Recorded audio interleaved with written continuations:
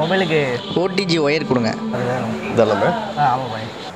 எவ்வளோ பாய்? ஐம்பத்தஞ்சு ரூபா கொடுங்க. ஐம்பத்தஞ்சு ரூபாயா?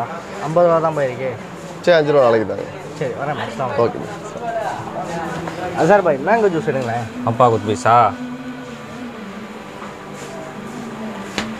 இந்தாப்பா மேங்கோ ஜூஸு எவ்வளோ பாய்? வெளில வந்து பாஞ்சு ரூபா வைக்கிறான்ப்பா நீ பன்னெண்டு ரூபா கொடுப்பா. பத்து ரூபா தானே பாய் இருக்கு? ரெண்டு ரூபா சில்லற இல்லையா வாச்சு அப்புறமா கொடுப்பா ஒன்றும் பிரச்சனை இல்லை. போர் அடிக்குது. சரி பயானாவது பார்ப்போம்.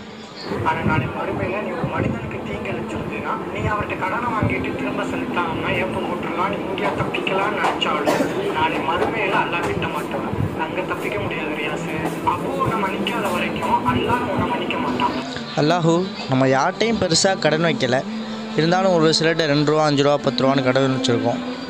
இதுக்கு என்ன ஆகும்? சரி டே பை டே போயிட்டு கேட்போம். அஸ்லாம் வலைக்கும் லீவாய் என்ன பட்டாசா ட்ரெஸ் பண்ணியிருக்கீங்க?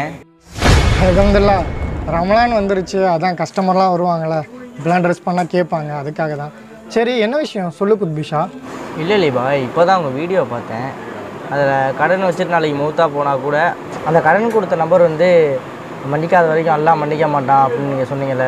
நம்ம வந்து இப்போ சின்ன சின்ன கடைகளில் ரெண்டு ரூபா அஞ்சு ரூபா பத்து ரூபான்னு கடன் வைக்கிறோம்ல அதுவும் பெரிய பாவமாகும் பாய் குட்டியை போட்டு.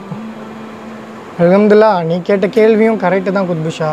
இது நிறைய பேருக்கு தெரியாது. இது கூட வந்து நாளை மறுமையில் மாட்டுமா அப்படின்னா மறுமையில் மனிதனோட நிலை மிகவும் மோசமாக இருக்கும். அப்போ யாருமே யாருக்கும் ஒரு நன்மையை கூட விட்டு கொடுக்க தயாராக இருக்க மாட்டான். அந்த சமயத்தில் நீ கடன் வச்ச நபருக்கு நீ வச்ச அஞ்சு ரூபா ரெண்டு ரூபா பத்து ரூபாலாம் ஞாபகத்துக்கு வந்தால் அதுக்காக உன்னை குற்றம் பிடிக்க நிறைய வாய்ப்பு இருக்குது அதனால் அந்த கடனை அடைக்கிறதுல நம்ம மும்மரமாக இருக்கணும். எக்ஸாக்டாக அவங்களுக்கு நான் எவ்வளோ அமௌண்ட் வச்சேன் அப்படிங்கிறத எனக்கு தெரியலை. அவங்களுக்கும் தெரியலை எனக்கும் தெரியல. இப்போ அதுக்கு நான் என்ன பண்ணுறது இந்த மாதிரி அஞ்சு ரூபா பத்து ரூபா ஐம்பது ரூபா இந்த மாதிரி சிறிய அமௌண்ட்லாம் கொடுத்த கடன் கொடுத்தவருக்கும் ஞாபகம் இருக்காது. வாங்கினவங்களுக்கு எக்ஸாக்டாக எவ்வளோன்னு ஞாபகம் இருக்காது. இதுக்கு நீ என்ன பண்ணலான்னா அந்த குறிப்பிட்ட கடைக்காரர்கிட்ட போயிட்டு பாய் உங்களுக்கு வந்து நான் எக்ஸாக்டாக எவ்வளோ தரணும்னு தெரில ஒரு அஞ்சு ரூபாயோ பத்து ரூபாயோ தெரில நான் உங்களுக்கு வந்து இருபது ரூபாயோ தரேன். இதுக்கு மேலே எக்ஸ்ட்ராவாக காசு இருந்தால் என்னை மன்னிச்சுக்கோங்க. இதுக்கு கீழே காசு இருந்தால் நீங்களே வச்சுக்கோங்க அப்படின்னு ஒரு டீல் பேசுங்க. அதுக்கு அவர் ஒத்துக்கிட்டால் அந்த இருபது ரூபா ஐம்பது ரூபாவை கொடுத்து அந்த கணக்கை க்ளோஸ் பண்ணுங்கள் அதுதான் உங்களுக்கு சிறந்தது. ஆமாம் பாய் இது கூட நல்ல ஐடியாவாக இருக்கே. ஐடியா கூட சொல்கிறேன் கேளு.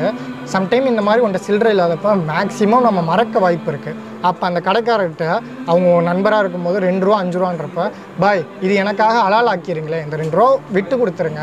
அப்படிங்க விட்டு கொடுத்துட்டா நான் மறந்துட்டா கூட அல்லாஹ் வந்துட்டு என்னை குற்றம் பிடிக்க மாட்டாளா? அப்படின்னு சொல்லும்போது அவங்க உனக்கு அந்த ரெண்டு ரூபா மூணு ரூபாலாம் விட்டு கொடுத்துட்டா அது ரொம்ப சிறந்தது. அப்போ நீ வந்துட்டு தேடி ஞாபகம் வச்சு கடன் அடைக்கணும் அவசியம் இல்லை. ஸோ இன்ஷால்லா இதை கீப் அப் பண்ணு. முடிஞ்ச அளவுக்கு நம்ம எவ்வளோ வாங்குகிறோம் சரியான காசை கொடுத்து வாங்குறதுக்கு பாரு. ஏன்னா நாளை மறுமையில் யார் நமக்கு எதிரியாக இருப்பான்னு யாருக்கும் தெரியாது.